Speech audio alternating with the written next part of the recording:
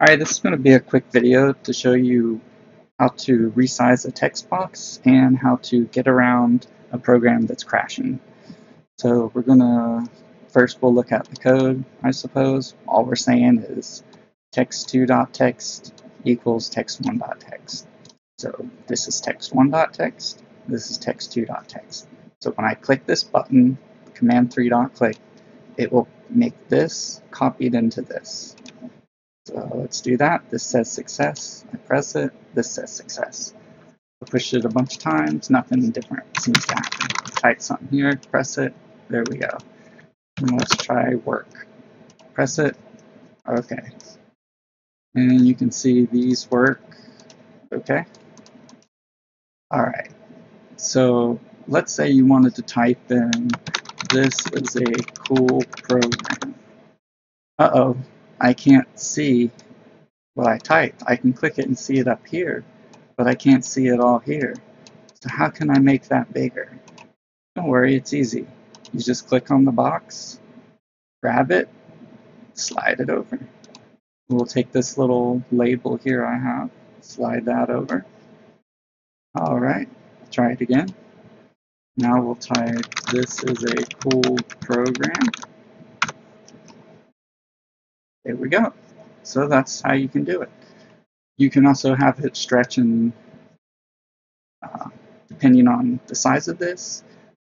Uh, I can make a video on that if you want, but I wanted to go on to something a little more complex. Now let's say that the text box is going to equal the value of 0 divided by 4 times 0 divided by 0. I always type count. Okay. So now it's going to be trying to divide by zero and it's going to get a stack overflow.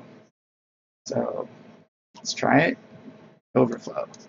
Program has crashed. Can't do anything. If I go to debug, I can see this is the line that caused it to crash. But the program is now unresponsive. And if I wasn't running this in a development, then the program would close. So maybe it was something I had typed here, so let's type something else. Nope. The reason why is because all it's doing is this. It has nothing to do with what's here. But how could we fix this? Well, here's an easy way. We're going to say, let's say, fail123.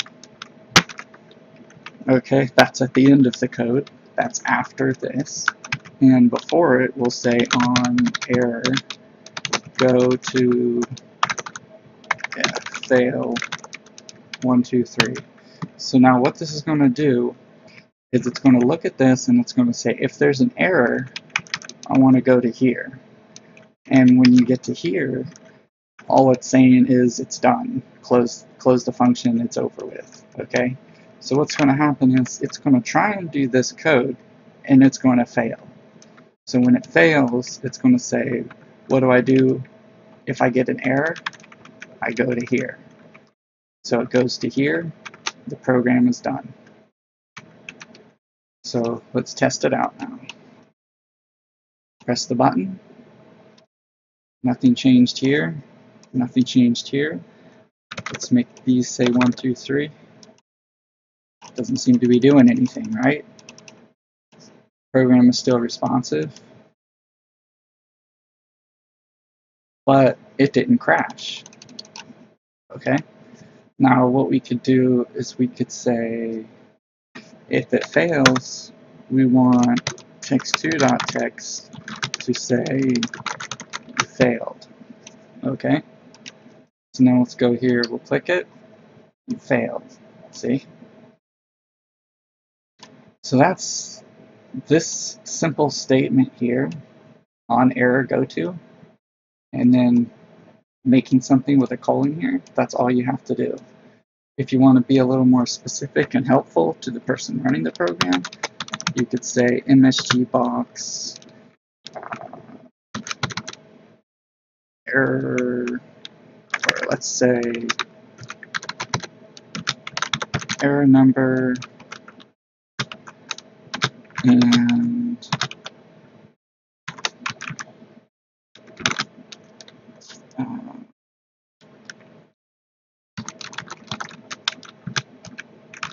that and now when I click it, oops, I messed up. Forgot to put that back in. Put it on the wrong side. There we go. Okay, let me show you what that code is. So this is text. That's just something for me to read. This is actual code. This again is just something for me to read. And this is code again. So there's only two pieces of code and in between it is words. So I click it, error number six, error is overflow. Now, even though it did that, the program still works. So this is a great way to debug, a, keep a program from crashing without having to fix anything. People a lot of times would rather have a program just say error than to actually have to close the program, especially if it takes a long time to load, especially if you're working on something where you have to save your work, and if it crashes, then you lose your work because you didn't save it right before it crashed. So, and this is Visual Basic 4. They stopped developing it in 1995. I made this video in 2015, so this is 20-year-old technology. So if they can do this 20 years ago, from the time I made this video, then doing it today should be very simple. Granted, this is a very high level uh, programming language, which means that you don't have access to a lot of things because they simplified a lot of things and took out a lot of abilities. So if I just want to resize a text box or something like that, it makes this really easy because I don't actually have to type in the code for it. Like if I want to put a line, I can do lines and you know, do stuff like that. So, but it comes at the expense that you can't do that much. But even if the programming language is really complicated, complicated, then still doing something on the basis of this is just as simple. Alright, so that's all for the video.